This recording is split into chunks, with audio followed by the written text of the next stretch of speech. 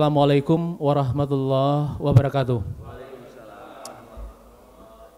Alhamdulillahirrabbilalamin.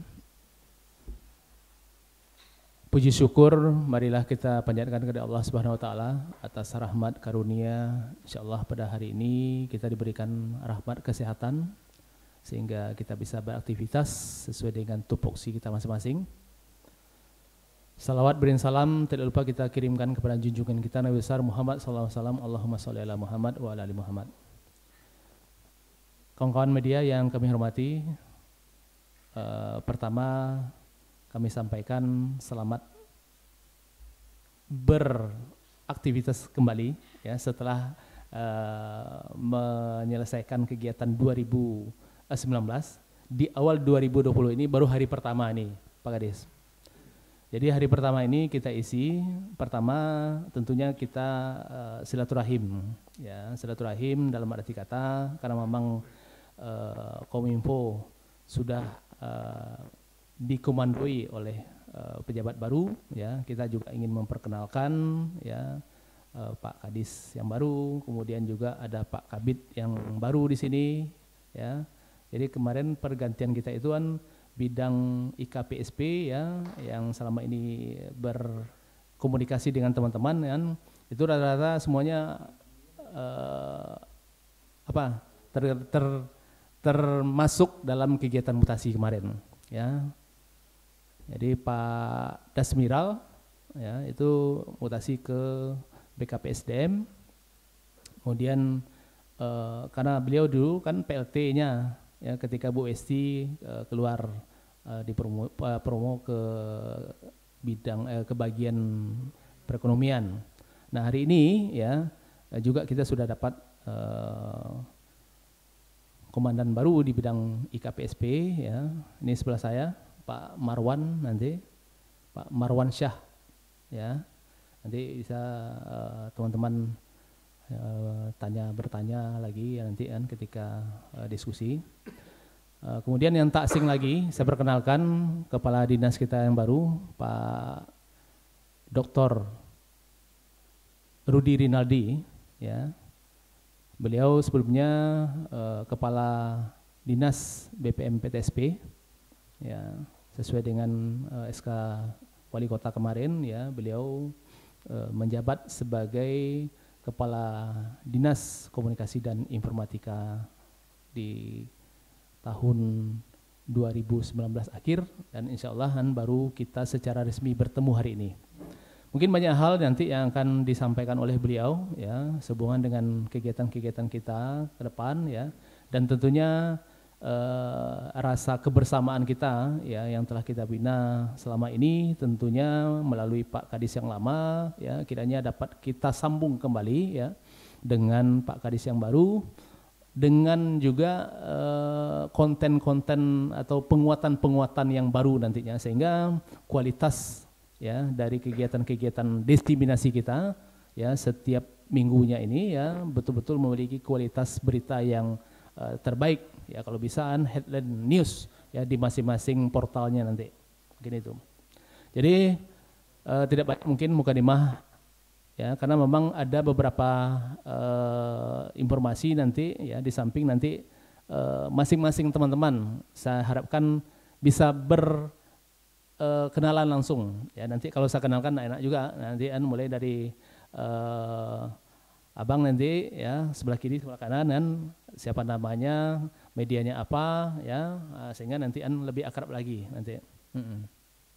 Mungkin sebagian sudah banyak yang kenal ya, tapi tentunya an, inilah uh, awak-awak apa uh, kita atau rekan-rekan media kita yang tergabung dalam uh, grup uh, media center kita.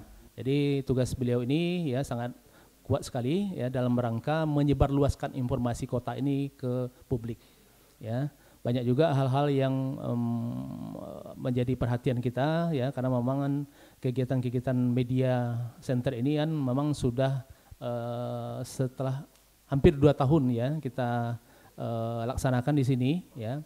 Dan insya Allah juga ini ya seperti yang Pak Piki sampaikan tadi kan ini kursinya banyak sekali ya. Ini memang kita rancang kemarin kan dalam rangka menghadapi penastani kita. Jadi kita butuh ruangan yang representatif ya karena memang kita mungkin ya karena memang uh, kegiatannya nasional mungkin itu yang kita antisipasi ya. Tapi uh, kita bersyukur saja bahwa kita uh, jauh lebih baik ya dari uh, yang kemarin. Ya syukur rasa syukur itu mungkin yang kita nikmati hari ini. Ya hari ini hari pertama kita dalam kegiatan media center. Ya kita bacakan basmalah Bismillahirrahmanirrahim agar kegiatan kita setahun ini ya selalu diridai oleh Allah Subhanahu wa taala dan berikan ya kekuatan kesehatan kepada kita semua.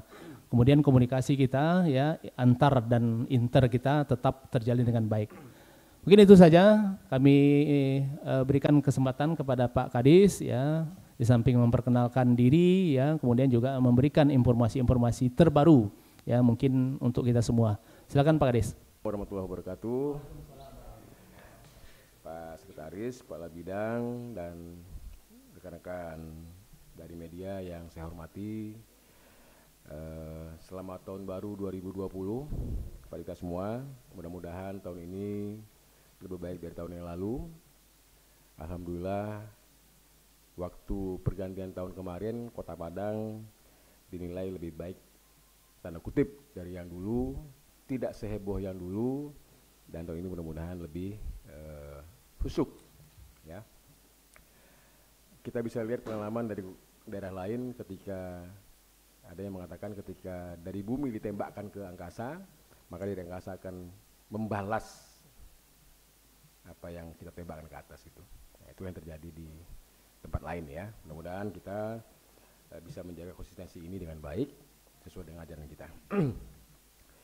Dan yang kedua, tadi Pak saya sudah sampaikan, eh, saya ditugaskan bergabung ke Dinas Kominfo sejak 2 Januari 2020. Saya masuk ke wilayah di mana kadis yang lama beserta krunya sudah menorehkan prestasi yang banyak sekali, inovasi yang luar biasa, dan banyak hal yang saya membuat saya ter, tercengang-cengang.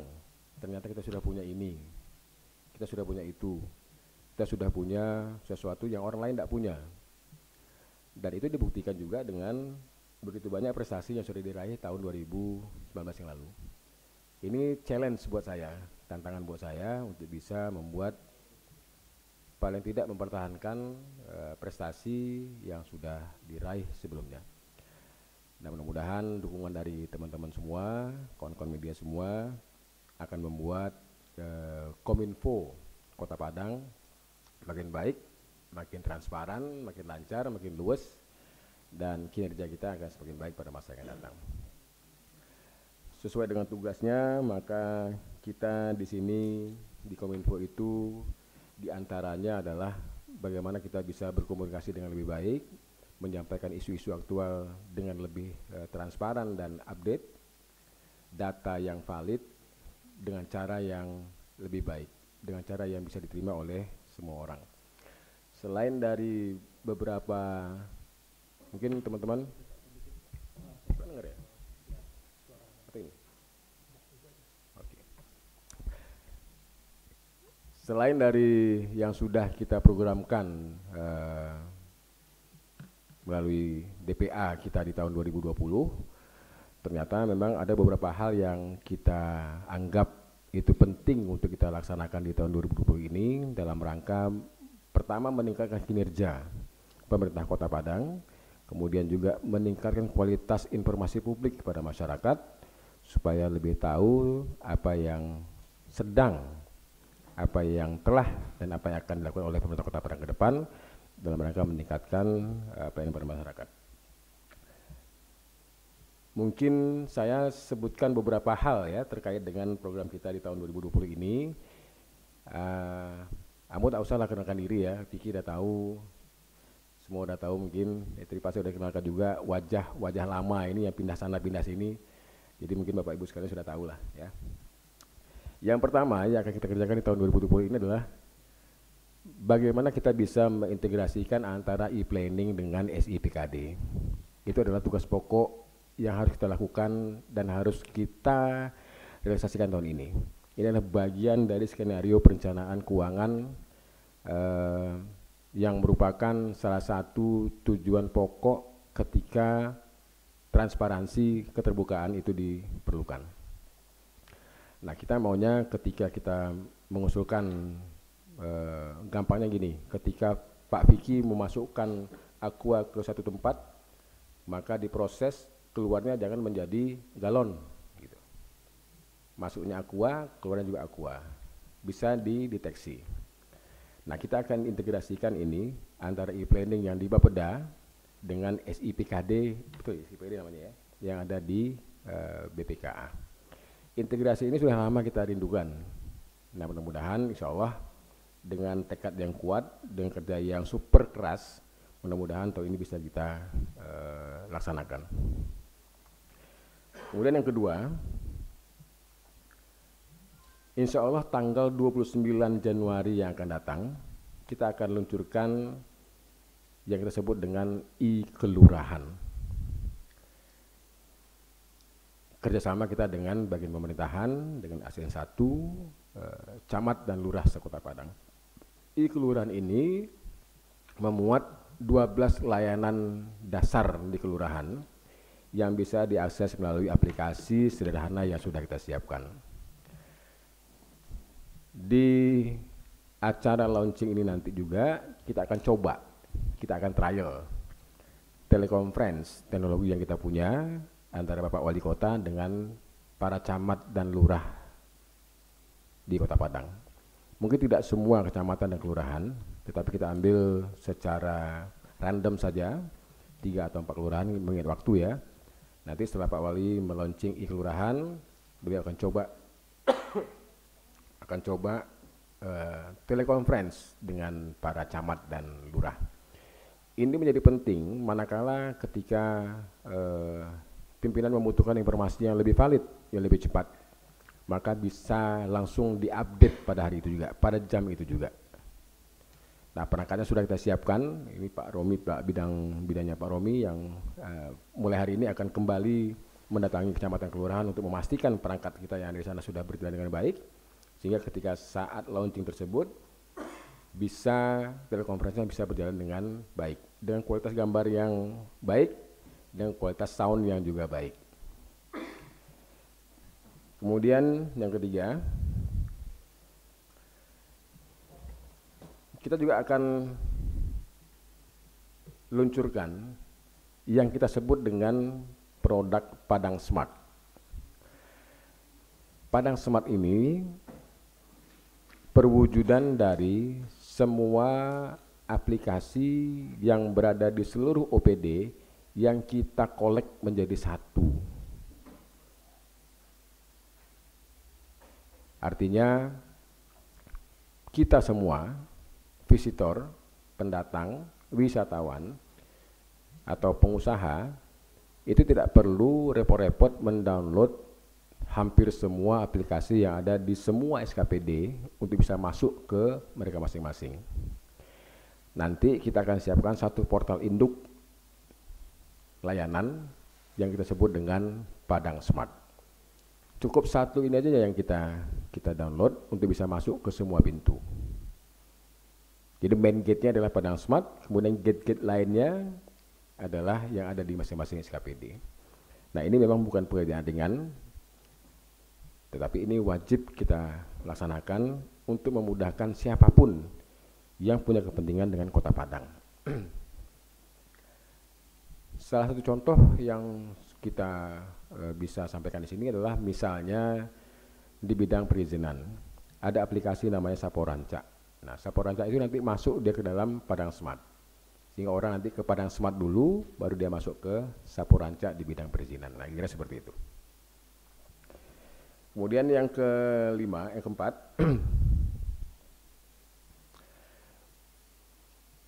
kita punya sources uh, jaringan internet yang pada malam hari uh, tidak terpakai secara maksimum di semua kantor pemerintah. Ini idenya kemarin baru kita dapatkan setelah kita diskusi internal. Jadi pada malam hari itu penggunaan pemanfaatan jaringan wifi di masing-masing OPD itu tidak maksimal. Karena itu kita coba lakukan yang disebut dengan replace networking.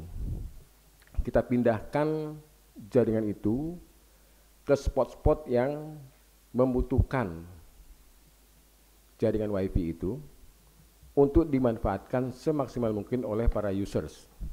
Misalnya, kita punya program Padang, sorry, Permindo Night Market di Jalan Permindo. Alokasi jaringan yang ada di SKPD tersebut, kita akan move, kita replace dia ke kawasan Jalan Permindo. Supaya masyarakat yang menikmati PNM sekaligus bisa juga menikmati WiFi gratis. Ini salah satu upgrading, upgrading pemanfaatan teknologi yang bisa kita supply untuk meningkatkan kualitas layanan publik. Karena pada hari ini kita lihat ketika Bapak Wali Kota mengatakan bahwa angka kemiskinan turun, itu mungkin disebabkan juga karena akses internet ke mereka sudah semakin baik. Ada di antara mereka yang juga bekerja mencari nafkah dengan memanfaatkan wifi sehingga jualannya naik, ordernya bertambah, omsetnya juga bertambah. Nah, kita ingin menguatkan lagi komposisi seperti ini ke jaringan-jaringan ke lokasi-lokasi yang kita detect membutuhkan jaringan wifi tersebut. Nah, ini akan kita rancang selain dari e, Permindo, di mana lagi lokasi-lokasi yang e, bisa kita pindahkan. Untuk tahap awal kita hanya akan kita lakukan untuk Sabtu malam dan sorry untuk Jumat malam dan Sabtu malam. Kalau misalnya perkembangannya baik, kita akan eh, tingkatkan durasinya sama eh, jam tayangnya. Kemudian berikutnya adalah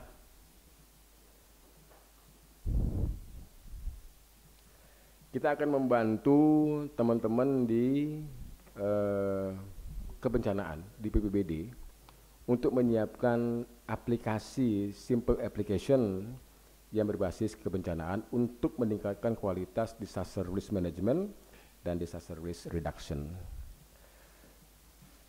Resources yang kita miliki pada hari ini rasanya cukup mampu untuk membantu kawan-kawan di BBBD untuk menciptakan, mengcreate aplikasi sederhana untuk meningkatkan kewaspadaan, kesiapsiagaan dalam menghadapi bencana.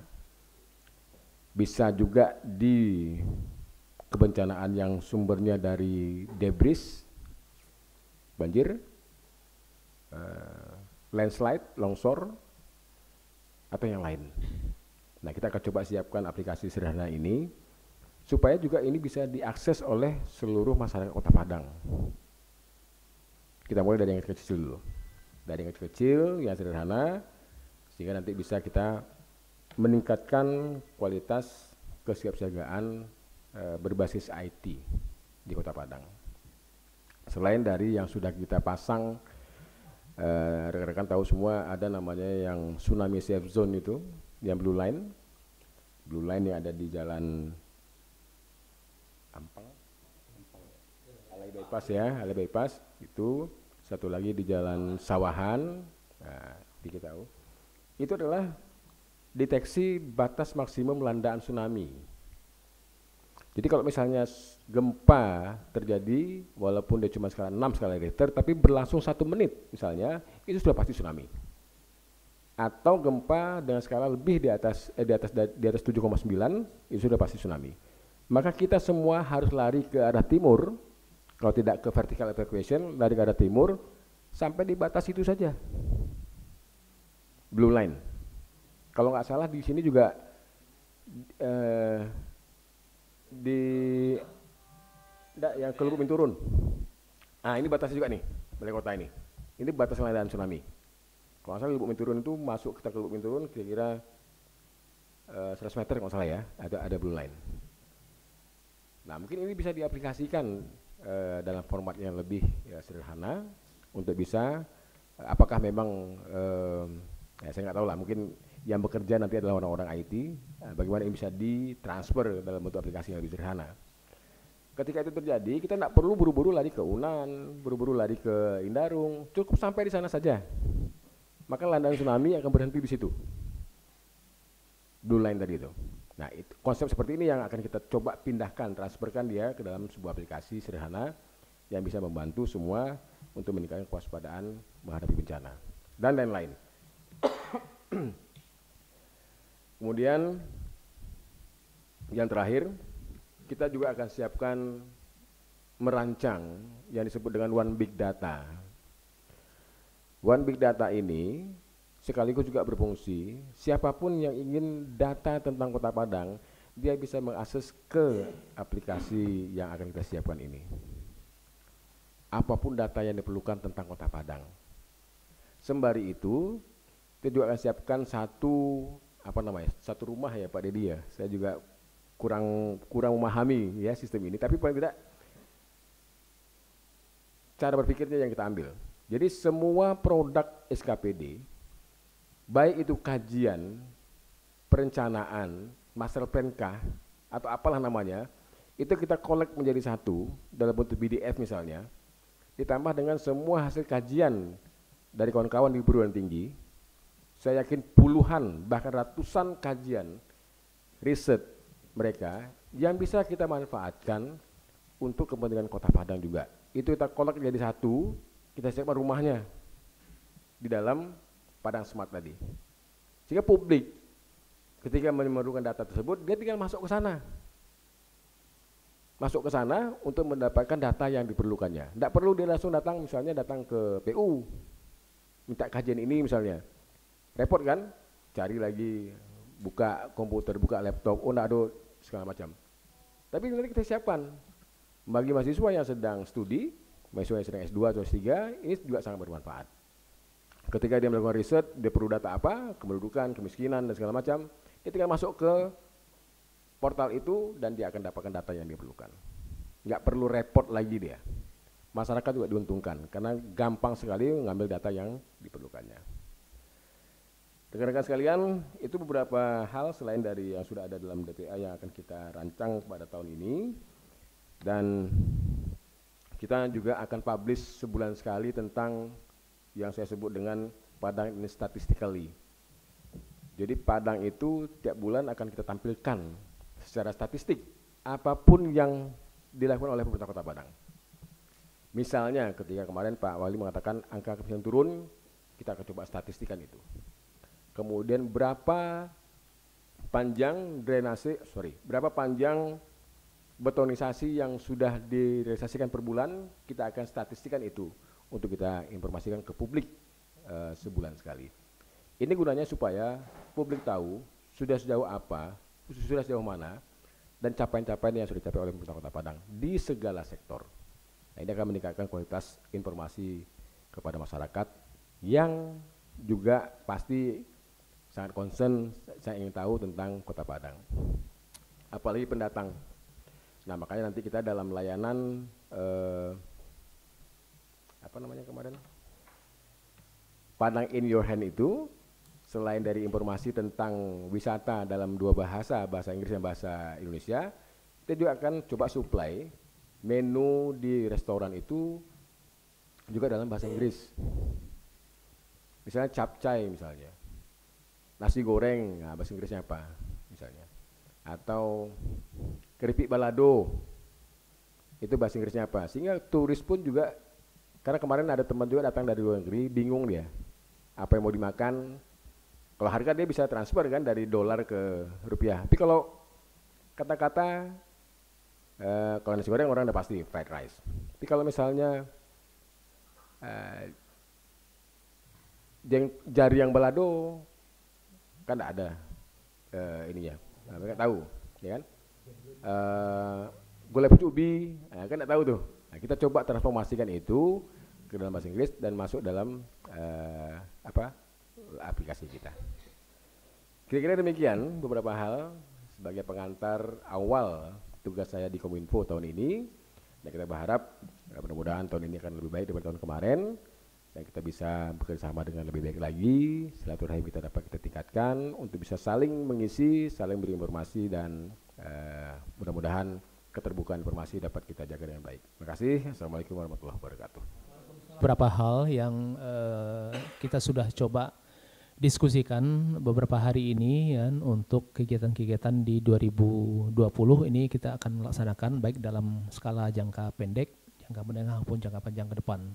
Di samping juga program yang kita sudah uh, masukkan dalam kegiatan kita di 2020 ya seperti yang kita tayangkan ini diikuti oleh beberapa kegiatan nantinya. Kemudian hadir juga di sini uh, di sebelah pojok ya Pak Insinyur Dedi Windra Dedi ya itu kepala bidang sistem dan informatika ya kita singkat dengan Sisfo ya Kemudian ada Pak Romi, ya, kepala bidang inti, ya, inti itu kepanjangan dari infrastruktur teknologi informasi. Kemudian di sebelah kanan saya Pak Marwan Syah, ya, kepala bidang IKP SP, ya, informasi komunikasi publik, statistik dan persandian.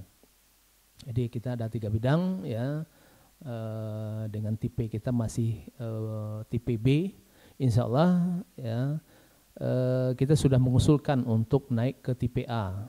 A itu nanti bidangnya jadi empat. Jadi bidangnya Pak Marwan ini akan pecah menjadi satu bidang lagi, bidang statistik dan persandian. Nah, jadi Pak Marwan mungkin fokus kepada IKP-nya, ya ada bidang satu lagi yang yang mengurusi statistik dan persandian itu. Mudah-mudahan ini ya informasinya sedang sudah uh, sampai ke provinsi dan merangka evaluasinya. Mudah-mudahan dalam waktu singkat akan diturunkan kembali ke kota dan mungkin akan diparipurnakan di DPRD. Mungkin itu sebagai informasi saja. Silakan nanti kawan-kawan diskusi karena setelah ini jam 11 ada lagi Bu Kori dari BPM PTSP yang juga ingin menginformasikan ya atau menyebarkan informasinya ya mau menanyakan untuk uh, jumlah CCTV yang ada di persimpangan jalan itu Kominfo punya berapa itu Pak? Masalahnya kan lagi hangat-hangatnya juga kemarin katanya mau melakukan mengembalikan tilang online tilang online gitu loh. Nah, untuk jumlah CCTV apakah masih dalam angka di tahun 2019 kemarin atau ada penambahan sekarang? Mungkin itu aja Pak. Nah, Assalamualaikum warahmatullahi wabarakatuh. Hati dari RRI Padang Pak. Uh, selain uh, pemaparan Bapak tadi yang ingin saya tanyakan terkait antisipasi dari Diskominfo Kota Padang sendiri Pak untuk penyebaran berita hoax atau berita bohong dan ujaran kebencian Pak. Apalagi menjelang Pilgub ini sendiri banyak berita hoax yang bersebaran di media sosial Pak. Terima kasih. Menyampaikan soal rencana peluncuran pelayanan publik berbasis elektronik di tingkat kelurahan. Bapak menyebutkan tadi ada 12 layanan, mungkin bisa dijelaskan lebih mendalam layanannya apa saja. Apakah dengan pelayanan ini masyarakat tidak perlu lagi datang ke kantor lurah untuk mengurus surat-surat, jadi cukup di rumah saja dan kalau sudah selesai tinggal jemput. Terima kasih Pak. Jadi yang terakhir itu adalah mengenai uh, distribusi pengembangan jaringan WiFi. Uh, malam hari kita baru punya 10 spot kawasan WiFi gratis ya, ditambah dengan yang kalau misalnya provider lain itu melalui misalnya kalau Vicky makan di uh, rumah makan sederhana misalnya, itu kan mereka juga menyiapkan layanan WiFi gratis. Kita spot kawasan ya, kawasan kita baru punya 10 kawasan yang free wifi. Ini akan kita develop, kita akan ekspansi ke lokasi lain. Tadi yang disebutkan dengan cara mungkin salah satu adalah dengan memindahkan, mereload wifi jaringan yang ada di SKPD pada malam hari ke lokasi-lokasi lain yang kita detect nanti membutuhkan uh, jaringan yang lebih banyak. Youth Center juga pasti ya, Karang Taruna dan lain-lain. Nah nanti kita akan deteksi, kita akan uh, buatkan ininya, uh, tornya, sehingga itu bisa kita kita aplikasikan. Untuk tahap awal kita akan coba lakukan di Sabtu malam, sorry, di Jumat malam dan Sabtu malam. Karena kalau malam yang lain kita tidak boleh ganggu anak-anak kita di program 1821. kecuali uh, above jam 9 ya. Kemudian nanti mungkin bisa ditambahkan oleh Pak Kabit yang lain.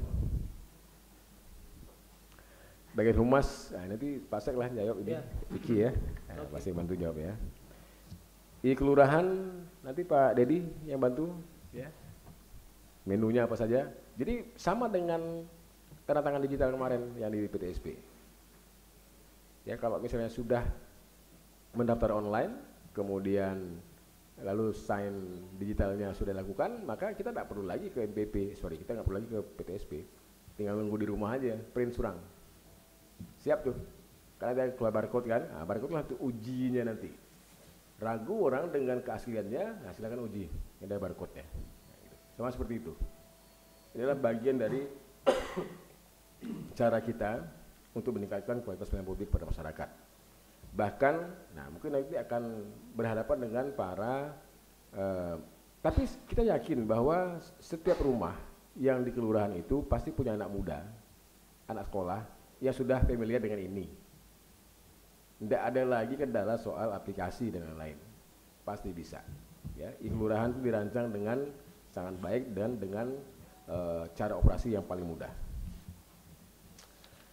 Melati nanti dibantu juga oleh Pak Romi atau Pak Dedi ya. Sekian demikian dari saya, mungkin pasang duluan. Apa yang disampaikan oleh Bang Piki tadi ya, adanya rancangan nomenklatur memang iya ya. Jadi mungkin eh, beberapa saat lagi karena memang itu semua standar seluruh Indonesia dan acuannya kalau salah ya permen berapa itu lupa yang jelas uh, yang berhubungan dengan uh, tupoksi kita nanti ya uh, yang beririsan dengan bagian humas, humas akan berganti nama dengan uh, kepala bidang protokol dan komunikasi pimpinan. Nah, kepala bagian, kepala bagian protokol dan komunikasi pimpinan. Jadi kalau melihat dari nomenklaturnya, dia mengurusi protokoler ya urusan-urusan pimpinan lebih dekatnya itu. Nah, urusan SKPD nanti akan diturunkan mungkin ya ke uh, Kominfo khususnya di IKP. Kalau kita juga nanti di upgrade ya seperti yang saya katakan tadi, hari ini kan tipe kita tipe B. Tipe B dengan tiga uh, bidang. Nah, kalau menjadi tipe A itu tambah satu bidang lagi karena kan berat betul bebannya di IKP ini. IKP-nya juga ya nanti kan kalau ada tugas dari humas melimpah ke IKP ya Nah SP-nya ini kan uh, lebih berat lagi, statistik dan persandian itu.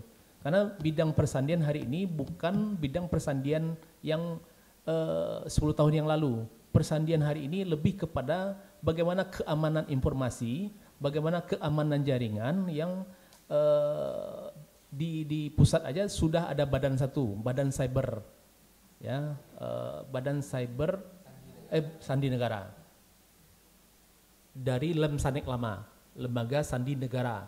Sekarang berubah nama menjadi Badan uh, Cyber dan Sandi apa namanya tadi? BSSN, Badan Cyber San, Sandi Negara ya. Uh, itu.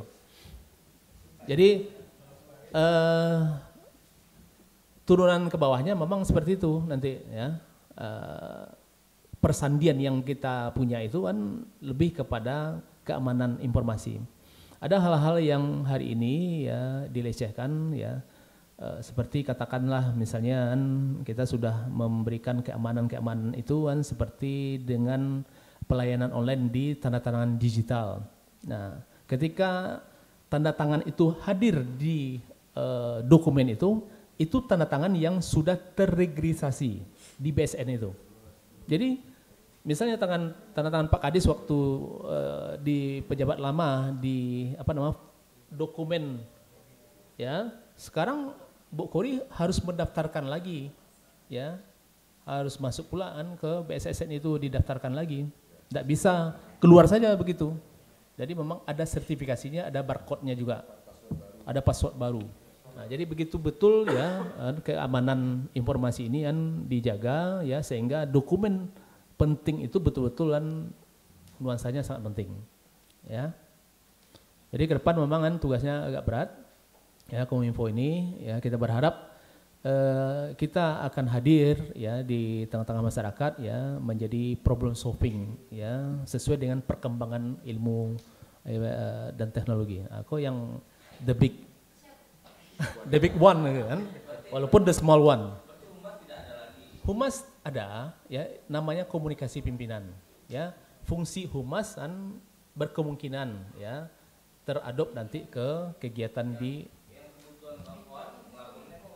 Iya, itu belum uh, ada mungkin ada nanti uh, diskusi yang agak serius ya di tingkat pimpinan ya sehubungan dengan uh, perpindahan itu. Karena memang hari ini kita juga di upgrade ya, kita mengusulkan untuk TPA itu karena ada bidang IKP yang beririsan dengan humas. Ya. Jadi ketika nanti ya ada beberapa urusan yang ada di humas ya dipindahkan ke Kominfo tentunya kan itu harus ada ya uh, apa namanya uh, kebijakan tersendiri tentang itu. Jadi ada hal-hal yang perluan mana yang menjadi urusan uh, bidang baru yang namanya uh, kepala bagian bagian protokol dan uh, komunikasi pimpinan. Karena protokol lama itu kan berada di bagian umum. Ya. Kalau kemarin itu humas itu kan humas saja ya sehingga ada tiga subak di dalamnya yang mengurusi itu termasuk kan e, memfasilitasikan kawan media di sana. Hmm. Apakah nanti ya itu yang mungkin dan jadi e, komunikasi atau e, apa namanya istilahnya e, diskusi yang sangat serius nanti kan karena memang belum ada keputusan ya. Hmm. Yang jelas e, ada nama baru ya humas itu adalah bagian protokol dan komunikasi pimpinan. Nah, mungkin itu saja yang bisa kami sampaikan. Nanti mungkin bisa dicari lagi ya uh, pembenarannya ke uh, bagian organisasi dan uh, Pak Sekda mungkin. Kemudian uh, menyangkut pertanyaan CCTV ya di persimpangan, mungkin ke Pak uh, ya Bang Dedi ya nanti ditambah dengan uh, i kelurahan. Silakan. Baik, assalamualaikum warahmatullahi wabarakatuh. Uh, kita jawab singkat saja berhubung uh, peserta berikut Ibu Korea sudah hadir sepertinya di luar. Uh, baik, pertama masalah CCTV. Kebetulan kita dulu kan bagian dari Dinas Perhubungan. Jumlah total CCTV ATCS yang di sampai hari ini sudah ada di Dinas Perhubungan adalah 25. Dan itu apa? Hidup semua. Hidup semua 25 buah dan pada 25 titik. Saya pikir jika tadi dikaitkan dengan uh, etilang, uh, ini masih banyak PR lagi. Kalau etilang berarti kita harus memasang kamera analitik di CCTV itu yang bisa mengidentifikasi secara otomatis nomor plat yang uh, melanggar. Saya pikir itu perlu kajian-kajian lagi. Itu menurut saya, ini menurut saya, ini masih belum. Oke, mungkin singkat saja. Uh, next uh, masalah kelurahan, uh, kita menuju smart city. Smart city sama dengan adalah memudahkan masyarakat, memanjakan masyarakat. Salah satu uh, langkah kita yang kita mulai di tahun uh, kemarin adalah kita coba memudahkan masyarakat melalui layanan administrasi kelurahan yang kita namakan e-kelurahan. Apakah masyarakat datang langsung ke kelurahan? Jika masyarakat menggunakan ini, insya Allah masyarakat tidak datang lagi ke, kelurahan, hanya datang jika suratnya sudah selesai, tinggal ambil. Seperti itu. Kemudian layanan apa saja yang ada? Maaf, tidak apa. Oke. Okay. Dari 12 layanan itu adalah pertama surat pengantar untuk menikah, ini sudah biasa. Surat pengantar menikah ada tiga macam, ini sudah tiga. Kemudian keterangan tidak mampu perorangan, keterangan tidak mampu keluarga, keterangan usaha, keterangan domisili, domisili usaha, keterangan kelakuan baik, keterangan ahli waris, keterangan kematian, keterangan gaib. Total 12 layanan. Kenapa hanya 12? Ini baru langkah awal di kita.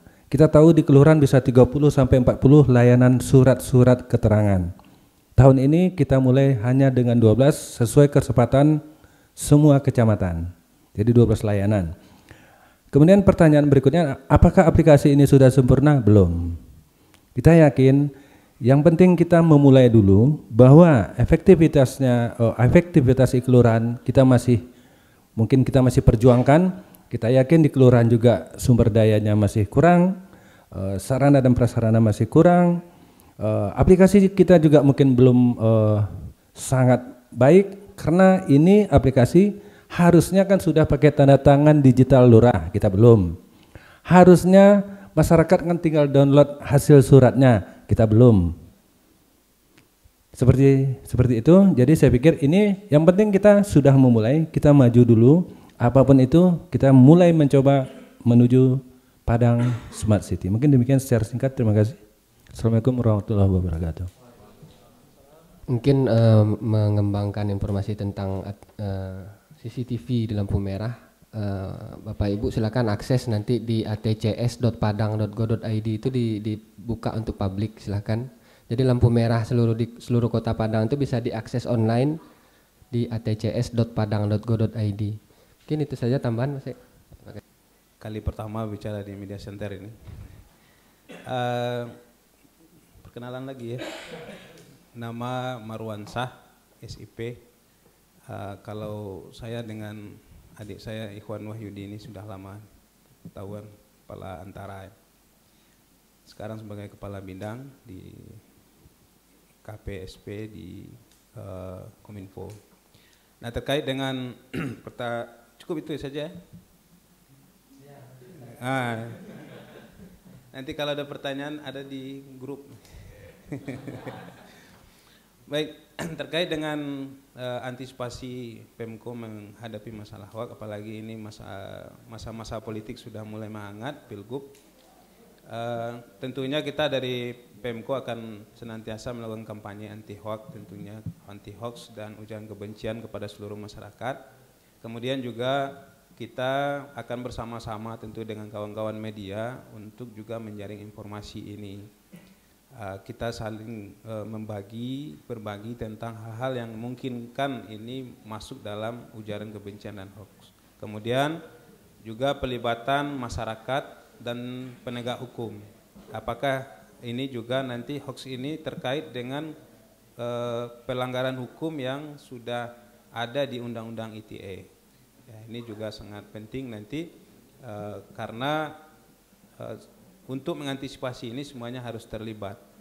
Kita inginkan bahwa Kota Padang ke depan uh, bebas dari hoax dan ujaran kebencian karena kita tidak ingin ini akan menimbulkan masalah yang besar nanti tentunya. Nah, dari Pemko itu itu yang akan kita lakukan, kita akan kampanyekan anti hoax ini melalui media-media yang kita miliki, kemudian juga tentu kerjasama dengan kawan-kawan media ini juga sangat penting dan juga dengan masyarakat dan aparat hukum nantinya. Itu saja, terima kasih Pak.